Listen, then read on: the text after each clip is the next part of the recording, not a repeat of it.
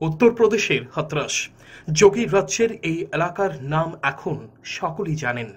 দলিত তরুণীর উপর হওয়া নৃশংস অত্যাচারের ঘটনা শুনে শিউরে উঠেছেন সমগ্র দেশবাসী। ধর্ষণ করে খুন করা হয়েছে ওই তরুণীকে।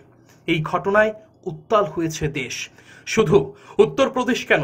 ত্রিপুরাতেও ধর্ষণের পর পুড়িয়ে মারার ঘটনা ঘটেছে। এবছর মার্চ মাসে ত্রিপুরার মোহনপুরে এক যুবতীকে ধর্ষণের পর পুড়িয়ে মারা হয়েছিল। ঘটনায় মাত্র একজন গ্রেপ্তার হলেও মূল অভিযুক্তরা ছিল পলাতক। এখনও সেই তদন্তের কোনো অগ্রগতি হয়নি। উল্টো, সেই আক্রান্ত পরিবারটির সঙ্গে বিভিন্ন রাজনৈতিক দলের নেতা এবং বিভিন্ন মানবাধিকার সংগঠন কথা বলতে গেলে সেখানে বাধা দেয় শাসক দলের লোকজন। বাড়ি ঘিরে রাখা হয়।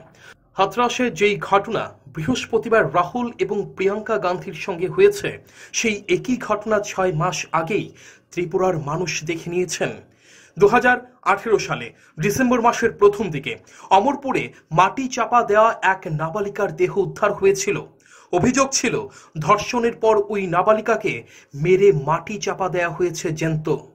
দু সালের জুন মাসে উত্তর জেলায় এ ধরনের আরও একটি ঘটনা ঘটে।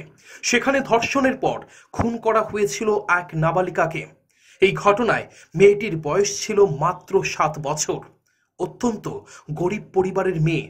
মাঠের মধ্যে মিলেছিল রক্তাক্ত উলঙ্গ দেহ। এবছরের প্রথম দিকে আরও এক নাবালিকাকে ধর্ষণের পর খুন করা হয়। এবার অভিযোগ আসে করবুক মহকুমার শিলাছড়ি থেকে।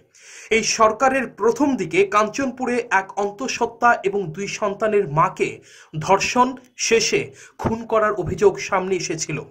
কাঞ্চনপুরের দশদা কাছারিপাড়া এলাকায় ওই মহিলা নদীতে জল আনতে গিয়েছিলেন, আর বাড়ি ফিরেননি।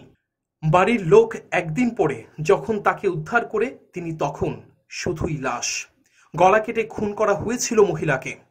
এ তো গেল ধর্ষণ এবং খুনের অভিযোগ। রাজ্যে গণধর্ষণের ঘটনা উঠে এসেছে বেশ কিছু। চলন্ত গাড়িতে গণধর্ষণের ঘটনা এই লকডাউনের সময়ই দুটি সামনে এসেছে।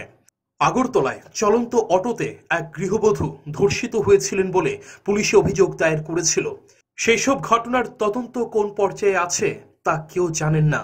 তাছাড়া ধর্ষণ, নাবালিকা ধর্ষণের ঘটনা প্রতি সপ্তাহে ঘটছে রাজ্যে।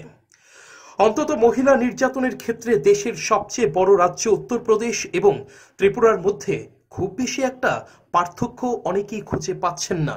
এমন অভিযোগ রয়েছে যে সব ঘটনা ঠিকভাবে পুলিশের কাছে আসছে না। অনেক চাপের মুখে আক্রান্তরা থানায় যেতে পারছেন না। রিপোর্ট, চ্যানেল তিন রথ।